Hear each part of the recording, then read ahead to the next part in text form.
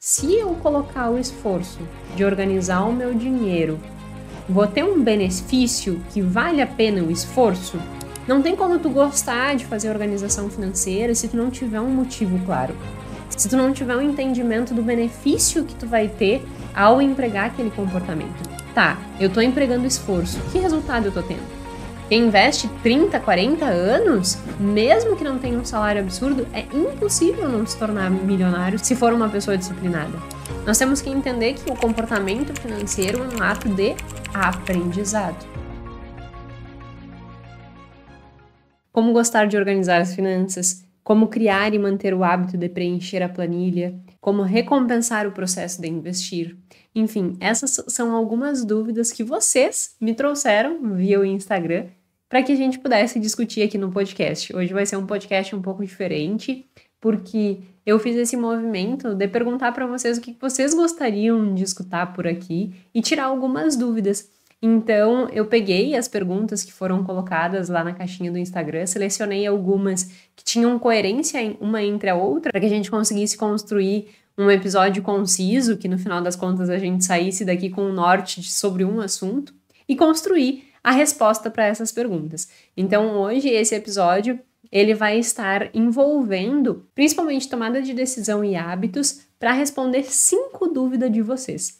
Inclusive, eu disse para Stephanie, uma das pessoas que construiu as perguntas, que ela ia ser priorizada neste podcast, porque acaba que as perguntas dela, uma tem muita relação com a outra, e eu achei que era pertinente nós trazermos esse, essa discussão para cá. Então, se você escutar que é a mais uma da Stephanie, mais uma da Stephanie, foram três perguntas da Stephanie que eu achei que era interessante trazer e outras duas de outras pessoas. Se você também acha que tem aí uma dúvida e gostaria de escutar tanto a minha opinião quanto entender o que, que a teoria de finanças comportamentais pode contribuir para resolver o seu problema, coloca aqui nos comentários, ou se não, quando eu abro caixinha lá no Instagram também, pedindo as dúvidas de vocês para que a gente possa construir mais um episódio como esse, coloca lá a tua dúvida que eu vou trazer para cá. É importante dizer também que, se tiverem muitas pessoas interessadas nisso, a gente torna aí, uma vez por mês, o podcast ser para responder dúvidas, e obviamente sempre eu vou buscar construir e escolher essas dúvidas coerentes com o tema. Então, assim como hoje eu escolhi essas dúvidas mais relacionadas a hábito e tomada de decisão, pode ser que na outra semana eu fale sobre comportamento compulsivo, endividamento, enfim. Depende das dúvidas que foram surgindo, eu encaixo aquelas dúvidas que são mais parecidas, por isso a minha seleção das dúvidas de hoje.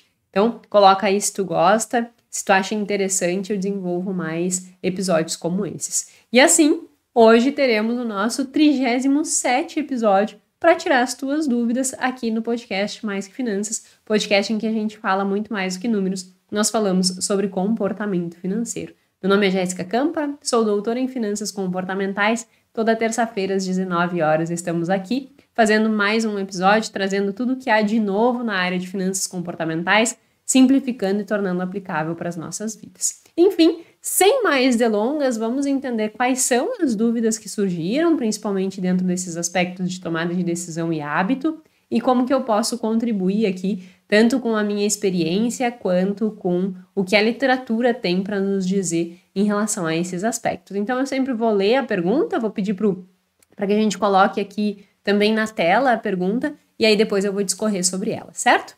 Para começar, eu vou responder a dúvida da Stephanie, como eu disse, priorizado no episódio de hoje, que é o seguinte: como gostar de organizar as finanças? Existem duas direções que a minha resposta poderia seguir, e aí eu vou tentar resumir cada uma delas. Primeiro, do ponto de vista de tomada de decisão, e segundo, do ponto de vista de ciclo de vida, que vai envolver também tomada de decisão. Então, eu vou começar explicando por essa ótica. Como gostar de cuidar e organizar das suas finanças. Eu vou falar uma coisa que parece subjetiva, mas depois eu vou dar um exemplo prático que vai ficar melhor de entender. Para que você goste de organizar o teu dinheiro, a organização do seu dinheiro precisa ter uma função na tua vida. Explico. O que, que significa para Jéssica organizar o dinheiro dela? Significa que eu terei e tenho liberdade de escolha.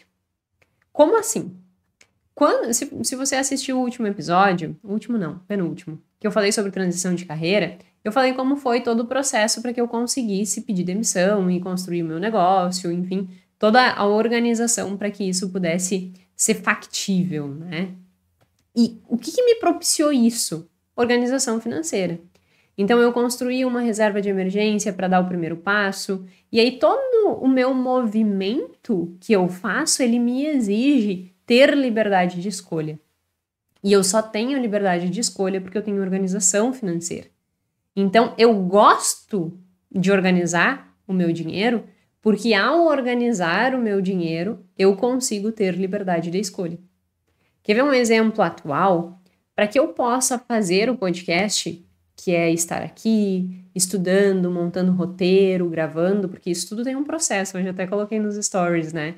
A gente acha que às vezes assim, ah, surgiu o episódio. Não, tem toda uma construção por trás disso, né? Eu defino o tema, eu busco referências de artigos científicos coerente com aquele tema, eu leio esses artigos porque mesmo que eu já tenha lido eles em algum momento, sempre surge algum artigo novo, todos os dias tem inúmeras publicações saindo, né, que eu preciso estar me atualizando. Então eu leio esses artigos, eu construo esse roteiro, aí eu venho para a gravação, da gravação vai para a edição, depois volta para que eu consiga fazer os fechamentos para publicar, né, descrição, uh, referências, enfim, para que possa sair a publicação. Tudo isso me leva tempo. É, em média, leva dois dias por semana dedicados ao podcast. Então, sexta e sábado são os dias que eu estou aí principalmente dedicadas a isso. Para isso, eu preciso abrir espaço na minha agenda. Então, sexta eu não posso atender e sábado também eu não posso atender, embora eu nunca priorizei atender no sábado, né? Nunca abri minha agenda literalmente para atender no sábado, eram algumas coisas excepcionais. Uns havia e eu também eliminei.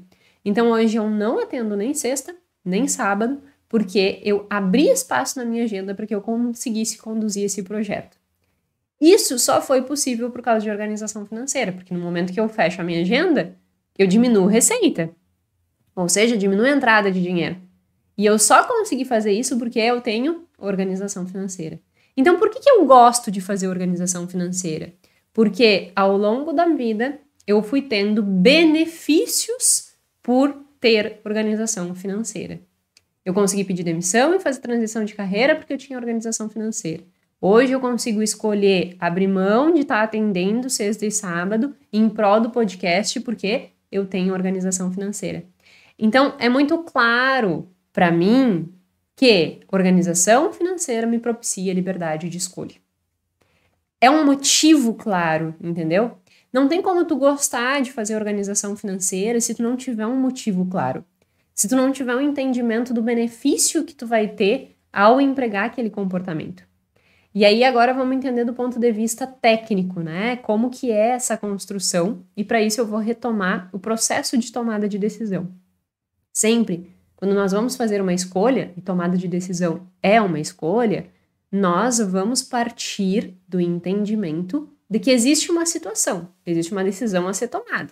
Organizar e gostar de fazer gestão financeira. Então, existe aí a situação. Segundo processo, a segunda etapa no processo de tomada de decisão é a atribuição de valor. O que, que é isso? Dentro do teu cérebro existe uma área chamada córtex órbito frontal. Essa área, e aí dentro dela ainda tem o córtex ventromedial, elas são responsáveis por atribuição de valor. Então, quando tu pensa em organizar as tuas finanças, essas áreas elas fazem um cálculo de custo-benefício. Se eu colocar o esforço de organizar o meu dinheiro, vou ter um benefício que vale a pena o esforço?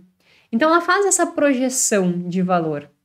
E aí, essa, a partir dessa projeção de valor, é que tu entra para a segunda etapa, que é efetivamente a escolha. Se tu conseguires ter uma atribuição de valor maior à organização financeira em relação a qualquer outro comportamento, o teu cérebro vai potencializar a execução desse comportamento. E aí tu vai lá e faz. Na terceira etapa, tu vai lá e decide por fazer organização financeira. Então, sempre vai existir esse cálculo de custo-benefício em que o teu cérebro vai avaliar se vale a pena ou não aquele esforço. Para daí sim fazer a escolha e numa última etapa é o monitoramento, que é avaliando, tá, eu estou empregando esforço, que resultado eu estou tendo? O progresso, né? Ele tá sendo, eu estou progredindo, eu estou progredindo, que nem eu estava dando meu exemplo. Eu estou progredindo porque cada dia mais eu ando tendo liberdade de escolha. E quem me dá isso é a organização. Então, ao construir isso e ao ter um valor real e efetivo para essa organização, tu passa a gostar. Não é assim, tipo, ai, como que eu vou gostar e é um plim e vou começar a gostar. Não vai, não, não vai acontecer isso. Vai ter que passar por um processo de tornar aquele comportamento valoroso. Aquele, aquele comportamento, ele tem que ser funcional para você. E ele tem que te gerar um benefício. No momento que aquele comportamento te gerar um benefício, tu vai gostar dele, tu vai repetir ele. Depois eu vou falar sobre formação de hábitos. Mas em suma é isso. Para que tu goste de fazer gestão financeira, aquele comportamento tem que ter uma função na tua vida. No meu caso, é me permitir ter liberdade de escolha. E aí, aproveitando o meu caso e dando um outro exemplo da minha mãe, para explicar ciclo de vida. Eu disse que uma outra ótica de explicar isso, de gostar de gestão financeira, é sobre o ponto de vista de ciclo de vida. Por quê? Hoje, para mim, organizar as minhas finanças representa liberdade. Só que se eu olhar para minha mãe, que está num outro ciclo de vida, para ela representa outra coisa. Para ela, organizar as finanças dela hoje, qual é o valor que ela atribui? Ela, ao organizar, ela consegue viajar. Então, todo ano ela faz uma grande viagem e várias microviagens ao longo do ano. Ela não, não fica muito, não fica três meses sem fazer uma viagem. Então, entende que tem uma função para ela a organização financeira? Permitir que ela faça viagens. No ciclo de vida dela, no momento de vida dela, isso é valoroso. Então, esse é um outro ponto. Nós não vamos atribuir um único valor e esse valor ele ser sempre mantido ao longo de toda a nossa vida. Dependendo da nossa etapa da vida, o, o valor atribuído vai ser diferente. Então, tu tem que entender o teu momento e entender o motivo pelo qual aquele comportamento vai ser benéfico hoje. Porque é isso que vai fazer com que tu tenha a motivação no cérebro, dopamina, para que tu entre em ação e tu consiga empregar aquele comportamento. E aí, ao ter a recompensa daquele comportamento, tu vai começar a ver aquele comportamento como valoroso e aí tu vai começar a gostar. Então, é mais ou menos assim. E, e depois que tu passa por esse processo e tu consegue efetivamente perceber o valor daquele comportamento, isso começa a se tornar completamente negociável, sabe? Para mim é inegociável. Eu, eu não vou deixar de me organizar financeiramente, eu não vou deixar de iniciar o mês e fazer meu orçamento. Porque eu sei o quanto isso me beneficia. A minha mãe sabe, porque ela vai todo mês viajar, de três em três meses viajar. Então ela sabe que aquele comportamento é oportuno para ela, que vai gerar uma recompensa. E aí é inegociável fazer. Então tu só vai gostar de fazer gestão financeira no momento em que aquilo tiver uma função na tua vida. Para e pensa qual é a função, o que, que eu quero, qual é meu objetivo. E aí, ao entender o teu objetivo, tu começa a empregar aquele comportamento. E aí agora no que eu for responder as outras questões, tu vai perceber como fazer isso se tornar um hábito. E aí vai ficar mais claro. Então, vamos para a segunda e para a terceira questão, que eu vou explicá-las juntas, porque elas são coerentes para que eu explique exatamente esse ponto de hábito. A segunda questão é: como criar e manter o hábito de preencher a planilha de gastos? Quem fez essa pergunta foi o Reginaldo. E como recompensar o processo de investir, que foi mais uma pergunta da Stephanie. E que essas duas perguntas têm em comum e por que, que eu vou respondê-las junto? Porque incorporar e manter o hábito de fazer planilha financeira tem muito a ver com o que eu já expliquei de tomada de decisão. Porque, mais uma vez, a planilha ela tem que ter uma função na minha vida. Que a planilha nada mais é do que a operacionalização do gostar de fazer gestão financeira. Então, ela está muito atrelada à primeira, porque ela tem esse, essa conotação de exigir ter uma função e também está muito vinculada à segunda, que fala sobre como recompensar o processo de investir. Então, eu vou explicar a partir dessas duas perguntas como é a formação de um hábito e aí depois eu explico separadamente a planilha e o investimento. Então, só vamos entender como que é a formação do hábito partindo do processo de tomada de decisão. Então, recapitulando, o processo de tomada de decisão ele parte de uma situação, de uma atribuição de valor que o nosso córtex órbito frontal faz, de custo-benefício. Depois ele vai para uma situação de escolha e monitoramento. A partir disso, eu posso incorporar o conceito de hábito. Eu fiz um episódio aqui, vou deixar na descrição, sobre como é um, um, ciclo de hábito e falei tudo sobre hábito, né? E como fazer gestão financeira e ter e construir o hábito da gestão financeira. Mas só fazendo, falando de uma forma muito sucinta.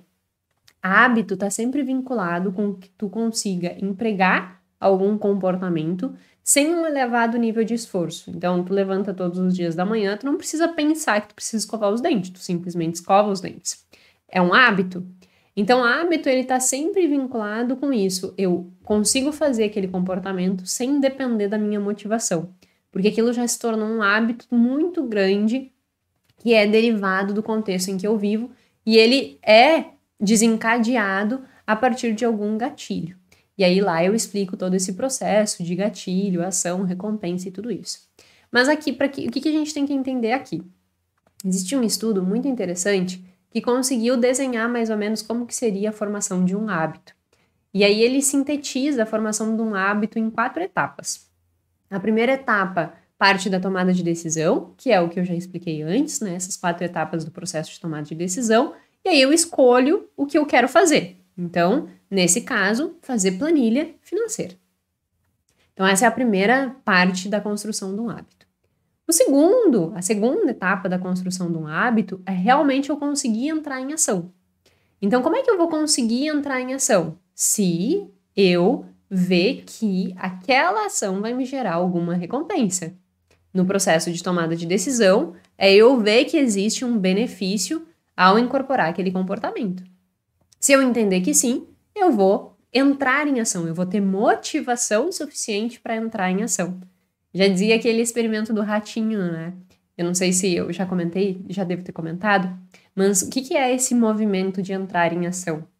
Um ratinho, ele estava sendo manipulado em termos de dopamina, que é a substância, o neurotransmissor, que vai potencializar esse processo de entrar em ação na direção de um objetivo. Quando eu não tenho dopamina, o que, que acontecia com o ratinho quando eles manipulavam a dopamina do ratinho?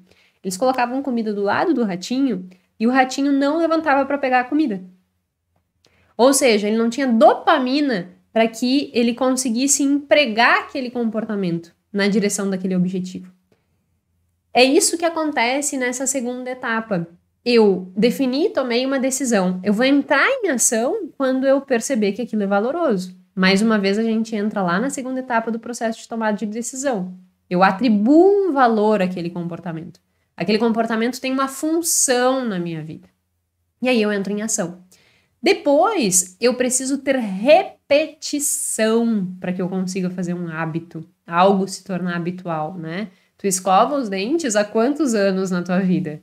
É um hábito para ti, mas tu repetiu aquele comportamento inúmeras vezes até que aquilo se tornasse um hábito. E por fim, mas não menos importante, eu preciso fazer uma associação entre o meu hábito e a recompensa. E também entre os estímulos do ambiente, a minha ação e a minha recompensa. Só para explicar isso, eu quero retomar um conceito que é a, o condicionamento de Skinner, ou condicionamento operante. O Skinner, ele fazia um testezinho que funcionava mais ou menos assim. O ratinho estava dentro de uma caixinha e ele precisava apertar uma alavanca para ganhar uma recompensa. Isso é o condicionamento operante. O Skinner condicionou o ratinho a apertar a alavanca para ganhar a recompensa. Portanto, para que a gente consiga empregar um hábito, nós precisamos fazer essa associação. Se eu apertar a alavanca, eu ganho a recompensa. Agora vamos para a planilha financeira. Se eu fizer a planilha financeira, eu consigo ter a recompensa de, no meu caso, ter liberdade financeira, ter liberdade de escolha. No caso da minha mãe, fazer a viagem. Portanto, a ação, né, e o comportamento de fazer tanto a organização financeira quanto efetivamente operacionalizar isso numa planilha só vai ser motivado e vai ser iniciado quando eu conseguir perceber essa recompensa. Por isso que no início eu comecei falando, precisa haver uma função. E no ato de tornar a, o preenchimento da planilha um hábito, mais uma vez, o preenchimento da planilha precisa ser um hábito. Tem um estudo que mostra que quando os objetivos são, por exemplo, ah, eu quero economizar, quero gastar menos, diminuir meus custos e quero fazer organização financeira, um orçamento. Quando esses objetivos são estabelecidos, as pessoas não cumprem. Porque tu entende que, assim, ó, tu não tá tendo um benefício claro. Ah, eu quero economizar meus. Eu, eu, economizar. Mas pra que que tu quer economizar? Ah, eu quero fazer orçamento. Mas pra que que tu quer fazer orçamento? Se tu não tiver um motivo claro do porquê que tu quer fazer aquele orçamento, do porquê que tu quer reduzir os teus custos, tu não vai ter motivação suficiente para empregar o esforço de realizar a planilha financeira para ter aquela, aquele benefício. Porque tu não sabe qual é o benefício. Então, nós sempre temos que ponderar esses aspectos para entender que um hábito ele só se constitui quando tu consegue ver o motivo pelo qual tu está empregando aquilo. Quando tu consegue fazer essa associação entre comportamento e recompensa, que é o condicionamento operante, aí aquilo começa a se tornar mais simples para ti. E aí tu faz. Falando estritamente da planilha financeira, tu vai. A primeira coisa é essa, né? É por que, que eu vou fazer planilha? Qual é o meu objetivo com isso? O que que representa para mim organização financeira? O que que me motiva a fazer isso? Tá, entendi o que que me motiva. No meu caso, me dá liberdade de escolha. No que eu entendi que me dá liberdade de escolha, como é que eu vou executar isso? E aí, a execução, isso é, é um grande tabu. Por vezes as pessoas pensam que fazer gestão financeira, fazer planilha, existe assim uma organização absurda. Ah, eu preciso saber exatamente quanto eu gasto, eu preciso ser bem criterioso, não sei o quê. E não é isso que importa. Eu sempre digo, não importa a forma que tu está fazendo, importa que tu faça. E aí, dentro desse processo que tu faça, uma coisa muito simples de ser realizada é simplesmente tu iniciar o mês, tu vê quanto que tu tem para ganhar naquele mês, quanto que tu tem de despesa fixa, quanto que tu tem de despesa variável que já está comprometida, por exemplo, cartão de crédito, e aí a partir dali, o que que tu vai destinar para o teu investimento, para tua liberdade de longo prazo e o que que tu vai destinar para tua liberdade momentânea que é para que tu gaste durante aquele mês. Isso é muito simples de fazer, tu leva 10 minutos fazendo.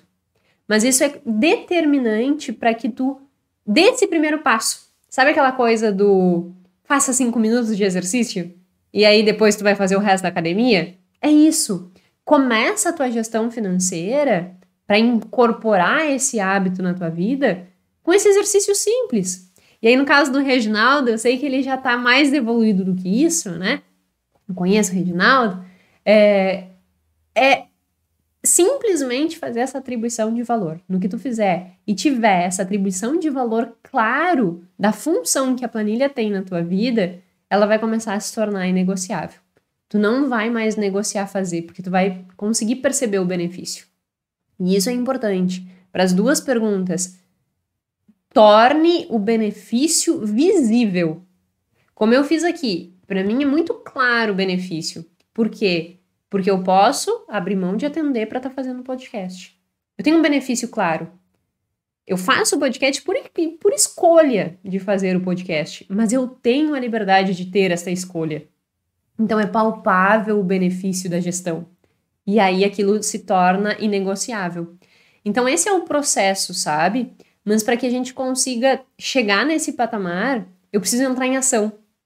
E aí essa entrar em ação não precisa ser minuciosa, pode ser exatamente o que eu falei. Mas tu precisa entrar em ação e perceber esse benefício. Porque senão tu não vai conseguir iniciar e nem perdurar, sabe? E aí tu não vai, na primeira pergunta, gostar e muito menos criar o hábito de fazer essa manutenção da planilha.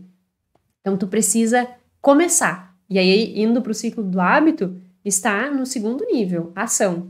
Aí tem a repetição e a associação. Tu precisa passar por todas essas etapas. E aí, indo para a resposta da terceira, que eu falei junto, porque tá muito coerente com essa questão de recompensa, né? É, como recompensar o processo de investir. E isso, mais uma vez, está relacionado, por isso que eu trouxe todas essas perguntas, porque elas estavam realmente relacionadas uma entre a outra, né? Isso está muito relacionado com esse movimento de nós conseguirmos ver a recompensa do esforço empregado. Então, como é que eu vou uh, gostar de investir? E como é que eu vou recompensar o processo de investir? Então, só para quem não entendeu a pergunta, né? O que ela quer saber no final das contas é como que ela consegue perceber benefício no processo de investir se naquele momento ela ainda não está usufruindo daquele dinheiro. É como se eu estivesse colocando lá num pacotinho de longo prazo, mas eu não consigo perceber efetivamente o valor daquilo, porque eu não estou usufruindo daquilo hoje. Como construir essa visão de que todo mês eu preciso colocar o dinheiro ali, todo mês eu consigo colocar o dinheiro ali, e isso vai me gerando uma sensação de recompensa. E no final das contas, isso é difícil mesmo principalmente para quem nunca fez nenhum tipo de gestão financeira. Porque pensa comigo, né? Ah, eu vou poder comprar roupa hoje. Ah, eu vou poder comprar, trocar de telefone. Ah, eu vou comprar um computador novo. O que, que me levaria a abrir mão disso para investir no longo prazo? Eu tenho que abrir mão de ter esse benefício imediato em prol de uma recompensa que eu nem sei se vou estar vivo amanhã. Às vezes essa é a desculpa, né? Eu nem sei se eu vou estar vivo amanhã. Como é que eu vou. Né? Então, é, é realmente um desafio, né? Até porque nós incorremos no que eu chamo, no que eu chamo não, né? No que a literatura chama de viés da intertemporalidade ou viés do presente, que é essa ânsia, né, dos prazeres momentâneos. Então, recompensar o processo de investir é um desafio, porque tu tá colocando um negócio, um dinheiro, no longo prazo e tu não tá usufruindo daquilo ali. Então, como que eu vou tornar aquilo valoroso para o meu cérebro tomar a decisão de que vale a pena aquele esforço? E aí, isso é um exercício muito relacionado com o que eu já falei de atribuição de valor de atribuição de função para aquilo. Voltando ao meu exemplo. Se eu não tivesse investido, se eu não tivesse montado a minha reserva de emergência, eu não teria pedido demissão. Se eu não tivesse hoje segurança financeira, se eu não tivesse hoje esse, essa minha construção de patrimônio de longo prazo, eu não poderia abrir mão de atender sexta e sábado. Então, isso eu percebo como uma recompensa do meu processo de investir. Por quê? Porque é o meu investimento que me dá segurança para tomar essa decisão. E aí quando eu olho que esse investimento ele tá sólido e que ele tem ali uma me permite, né, me gera essa sensação de segurança, eu tenho liberdade de tomar essas decisões. Além disso, o processo de investir depois que tu começa, eu brinco sempre que o investimento é um mosquitinho, que depois te pica, tu não consegue largar mais. É, é picou, é tipo o Homem-Aranha, assim, foi nada a ver o exemplo, né? Mas uma conotação, assim, a aranha picou o Homem-Aranha. Ele não desfaz mais, e agora ele é o Homem-Aranha. Ele foi picado. E com investimento é meio assim, é, depois que tu é picado, tu é picado, entendeu? Tu não tem mais como largar daquilo. Porque aquilo é envolvente. Porque tu começa a perceber que tem progresso ali. Principalmente se tivermos, como agora, uma taxa de juros muito alta ou taxa de juro baixa, mas tu está aí com investimento em ação, uma carteira diversificada, tu também vai perceber os benefícios. Então, organizando uma carteira diversificada, que em momentos de taxa alta tu ganha com a taxa alta, em momentos de taxa baixa tu ganha com a valorização das ações, Tudo isso vai te gerando motivação, vai te gerando dopamina. Porque tu vê teu dinheiro crescendo. E uma forma de, além dessa forma que eu falei, que é a atribuição de valor àquilo para que tu tome decisão, no meu caso, liberdade, uma outra forma de recompensar é tu ver esse patrimônio crescendo, tu vê esses benefícios da rentabilidade. Sério, é, é, é sensacional, assim. Tu olhar e dizer assim, nossa, olha só, eu investi X e, e, e já tá tanto. E eu não fiz nada para esse dinheiro, nada entre aspas, né? Eu não fiz nada para esse dinheiro florescer. Ele, ele simplesmente está dando os frutos do que eu coloquei. Eu sempre digo, investimento é um adubo para o dinheiro que tu produz. Então tu produz, tu guarda teu dinheiro e, e aí aquilo vai florescendo. E aquilo vai florescendo, florescendo, florescendo e tu consegue ter um resultado absurdo. As pessoas subestimam o valor do longo prazo, né? No longo prazo, por exemplo, é muito fácil se tornar milionário. As pessoas têm esse, essa ideologia, ah, eu vou me tornar milionário, meu sonho é me tornar milionário, mas isso é, não, isso é inalcançável. É alcançável para qualquer um. Mas tem que ter recorrência nos investimentos. Quem investe 30, 40 anos, mesmo que não tenha um salário absurdo, é impossível não se tornar milionário se for uma pessoa disciplinada. E aí tu vê esse movimento, e aí o legal, né, nesse processo de recompensar o processo do investimento, é tu projetar quanto de dinheiro tu vai ter se tu investir o X que tu tem disponível para investir mensalmente. Durante todo um período, aí 30 anos, longo prazo. Tu vai perceber que tu tem. que tu, tu é uma milionária.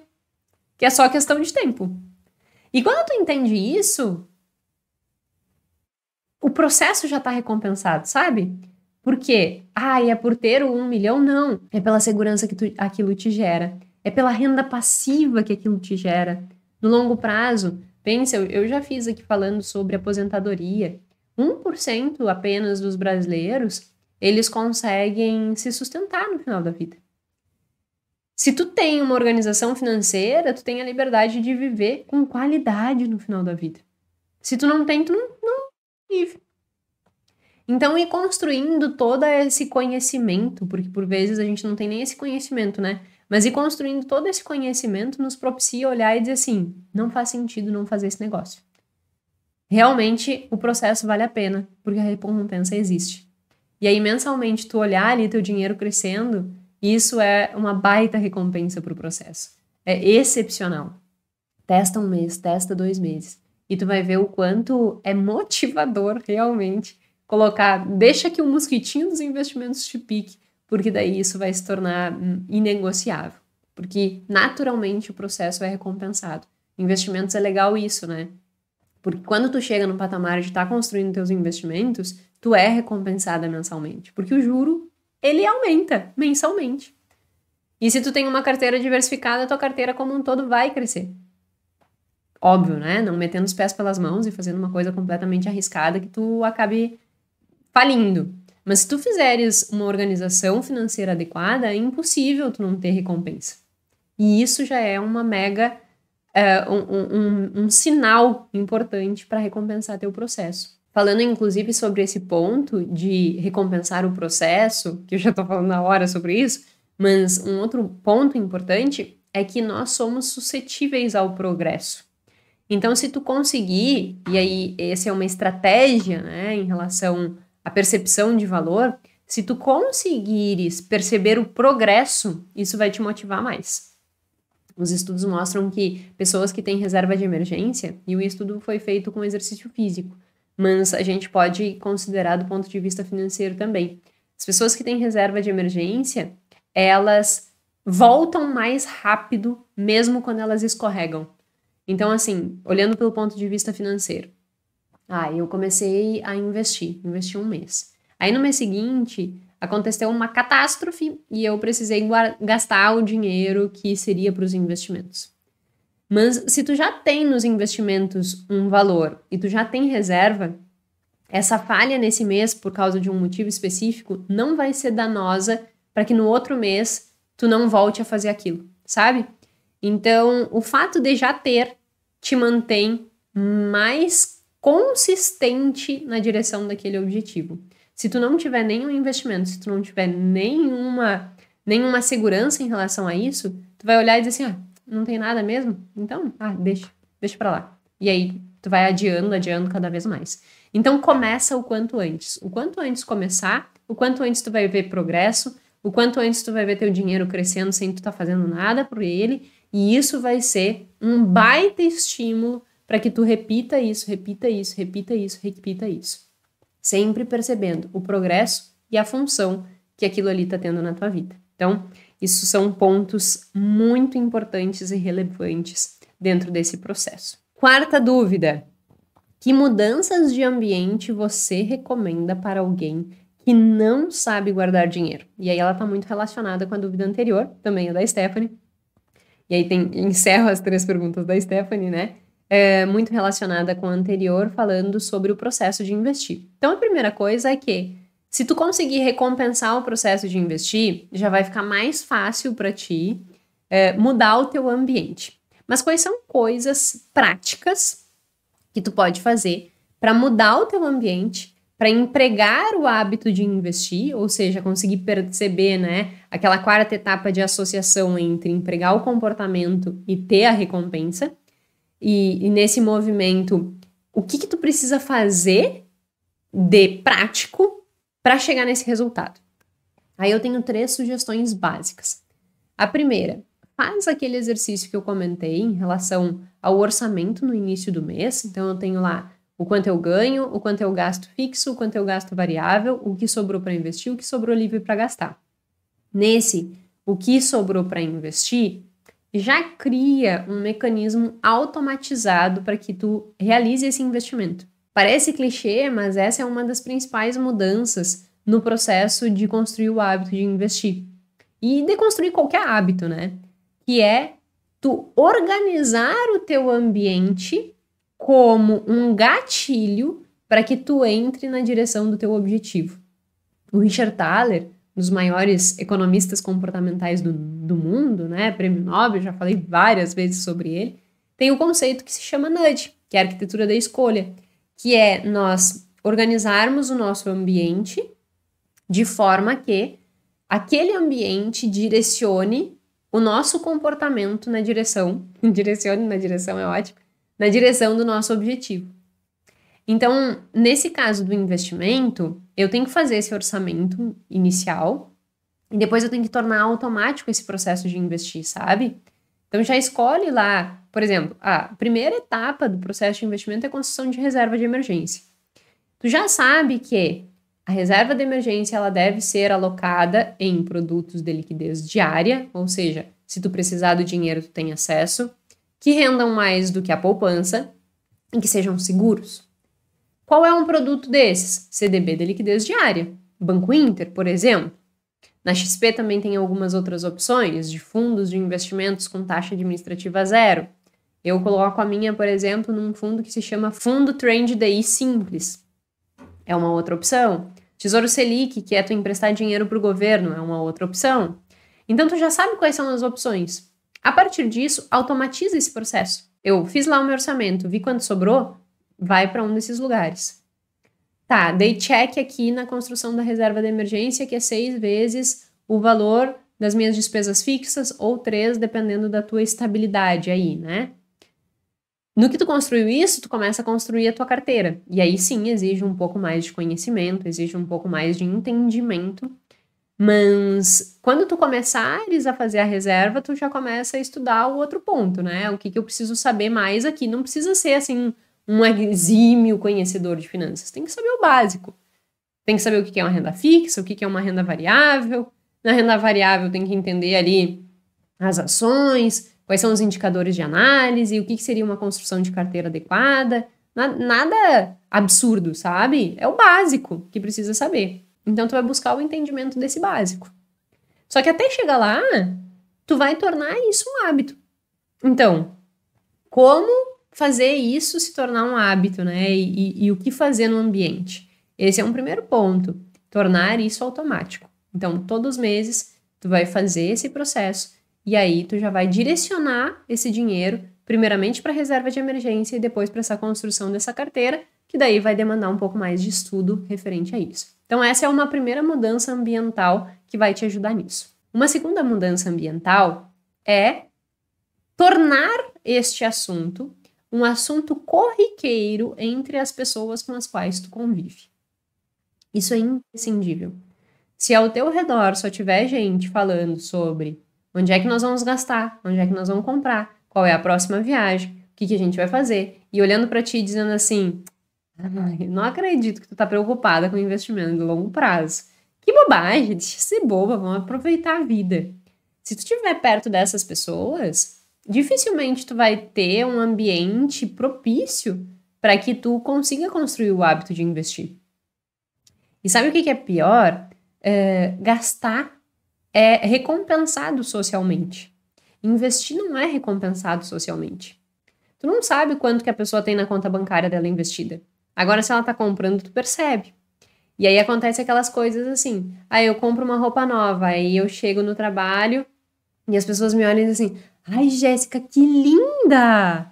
Tu tá com com uma jaqueta nova. Achei linda! Recompensou o ato do consumo. Aí tu vai lá, se é um homem, né? Vai lá e compra um carro. Aí todo mundo, ah, que carrão, cara! Sensacional! Muito bonito teu carro. Parabéns pela aquisição. Pronto, reforçou o comportamento de consumo. Então percebe que na nossa sociedade o ato de consumir é reforçado positivamente, o que te gera uma recompensa, lembra? Eu estava falando de recompensa? É, esse reforço social é uma recompensa subjetiva, mas é uma recompensa que faz com que aquele comportamento ele se torne interessante de ser repetido. Agora, quando tu investe, esse ato ele não é recompensado. Porque ninguém está olhando a tua conta bancária. E dinheiro ainda é um grande tabu. Então as pessoas não vão olhar para ti e dizer assim: "Ai, Stephanie, parabéns! Você investiu e você está construindo a sua liberdade financeira". Não, pelo contrário, as pessoas vão te olhar e dizer assim: "Ai, que munheca, mão de vaca, coisa mais chata". Agora ela só fica pensando em investir. Então, é, construir essa conversa com as pessoas que tu convive é muito importante, sabe? Fazer com que no teu meio as pessoas se interessem por esse assunto. Então, mesmo que tu ainda não tenha um círculo de amizade que discuta sobre isso, incentiva. Seja você a grande incentivadora. Fale sobre o assunto, mostre resultado, desenvolva as outras pessoas, instiga né, as outras pessoas a se desenvolverem, porque isso sem dúvida vai ser um reforçador do ambiente para ti. Caso contrário, o teu ambiente vai só te puxar para o consumo, porque o consumo é reforçador. Então, tornar e conviver com pessoas que vão valorizar o ato de investir é imprescindível, inclusive para a pergunta anterior de recompensar o processo de investir, porque isso vai te dar mais motivação para seguir nesse caminho. Então, essa é uma segunda alternativa né, de mudança ambiental. Então, a primeira é automatizar os investimentos, a segunda é essa construção de pessoas em volta de ti que estejam interessadas sobre o assunto, e a quarta, evite gatilhos. Como assim? Se tu é uma pessoa que gasta, eu, por exemplo, né? Vamos pensar no que, que eu gasto e que eu tenho que às vezes dar uma segurada. Não que isso afetaria a minha condição, mas como eu sou utilitarista, eu me controlo. Meu problema são livros. eu tô sempre querendo comprar um livro novo. Eu tô sempre, ah, mas eu acho que esse aqui é muito legal. Então, o que, que eu estabeleci da estratégia? Eu não compro um novo livro se eu não tiver lido o anterior. Então, isso foi um mecanismo que eu criei de compromisso comigo mesma. Porque senão eu sempre tô querendo comprar um livro. Sempre. Então eu, eu estabeleci isso. Ah, eu quero um livro novo? Ok. Primeiro, lê o que tu tem em casa. E isso foi fazendo com que, primeiro, eu ficasse ainda mais comprometida em ler o que eu tenho em casa, porque eu tenho motivação para comprar um próximo, né? E também não ficasse toda hora querendo comprar livro. Então, isso é um ponto importante, assim.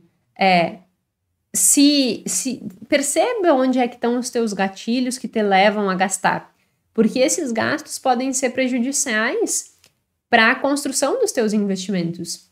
No meu caso, assim, eu dei um exemplo ilusório dos livros, mas se isso fosse danoso, por exemplo, digamos que eu fosse compradora compulsiva, eu tinha que evitar passar na frente das lojas que me estimulam a gastar.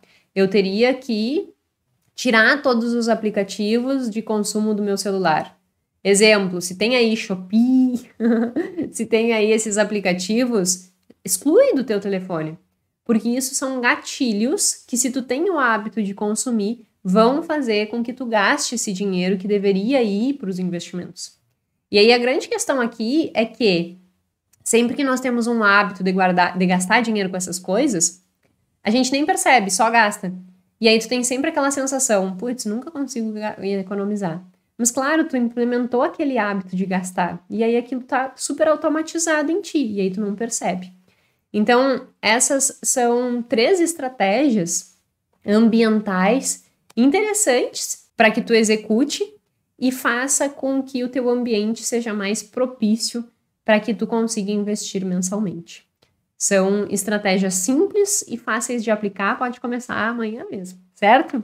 Partindo disso, vamos para a última questão, que está muito relacionada com essa questão de tomada de decisão, de hábito, mas ela é mais generalista. Quem fez essa pergunta foi a Eliane. Como construir melhores comportamentos financeiros para a geração mais jovens? Me preocupam como meus filhos irão ter e ser de amigos. E aí, tem algumas questões relacionadas a isso, né? É, no final das contas, a grande preocupação dela é o que eu preciso fazer em termos de comportamento financeiro para conduzir melhor os meus filhos. E esse é um primeiro ponto. É, filho e qualquer um de nós aprendemos por associação. Assim como o ratinho da caixa do Skinner aprendeu a apertar no botão para que ele ganhasse a recompensa do suquinho com açúcar, nós todos passamos por um processo de aprendizado o nosso comportamento é um ato de aprendizado. Tudo isso que eu comentei de tomada de decisão, de hábito, é aprendizado.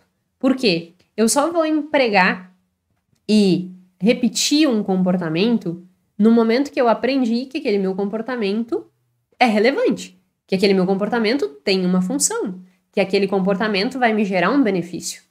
Então, esse processo de entender que aquele comportamento vai me gerar um benefício é o quê? um aprendizado. A área do nosso cérebro que está relacionada com o processo de aprendizado se chama hipocampo.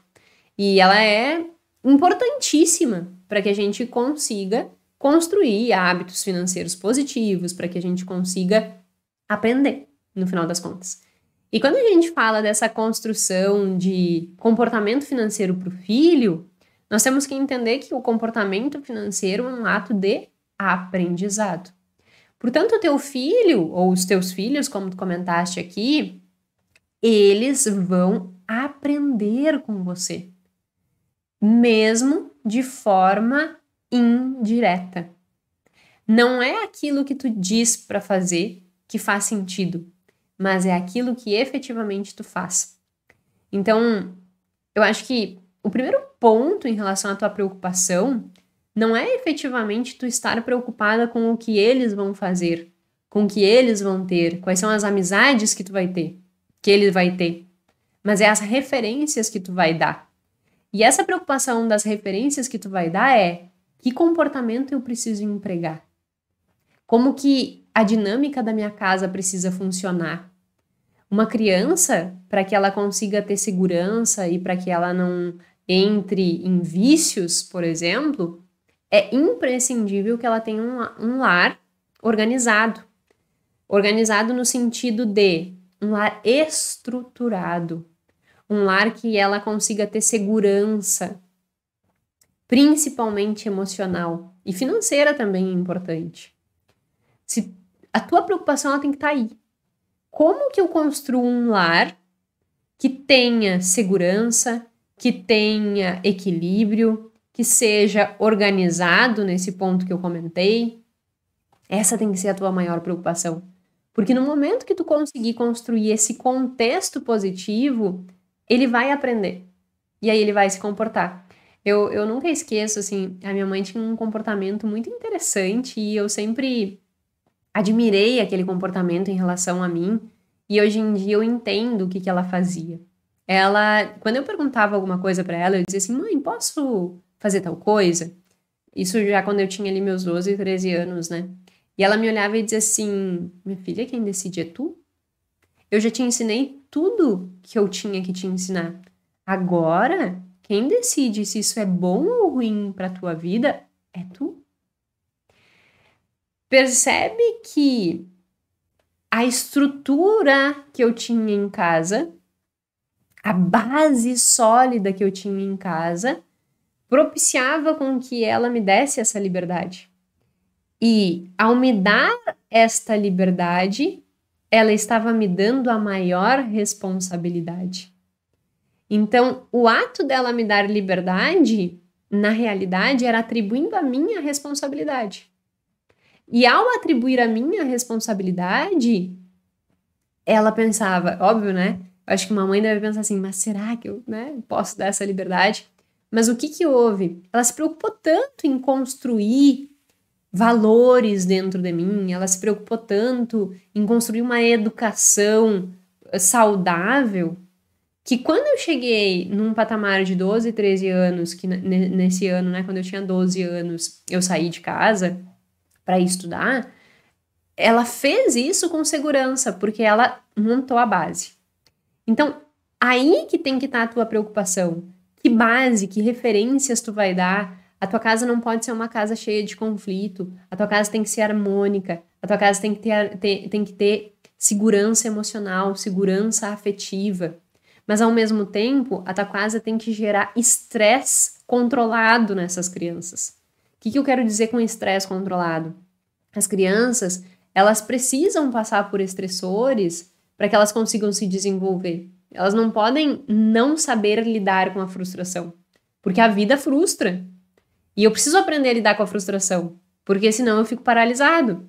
Então, pequenos estressores são importantes. Ah, vai lavar louça. Ai, mãe, não quero lavar louça. Tu vai lavar louça. É um pequeno estressor.